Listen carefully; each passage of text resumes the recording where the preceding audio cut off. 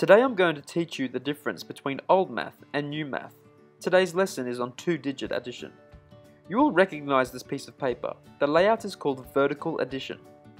This layout shows the numbers in line so that the problem is easily solved on paper.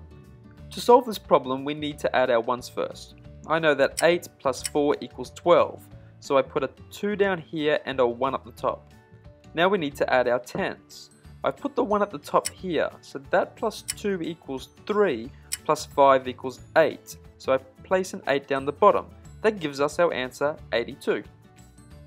Although this is an effective strategy and it does give us the correct answer, it's not the best strategy to use. If you are at a shopping center and you need to add numbers together, you really do need the piece of paper and a pen to solve the problem. You could work out the problem inside your head, but if you do this, you wouldn't actually use the strategy anyway. New math is all about numeracy, which is the ability to understand and work with numbers. In new math, the students get presented with word problems which relate to the world outside the classroom. The students learn to take important clues from the word problems to create number problems. In this case, the students will be able to identify the numbers 28 and 54. The word total is a clue to let the students know that they need to add these two numbers together. Once the students have these two numbers, they separate them into tens and ones. 28 has two tens and eight ones. 54 has five tens and four ones.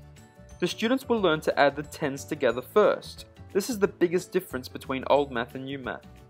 They will know that these two numbers can make up eight tens and then two ones, which equals 82.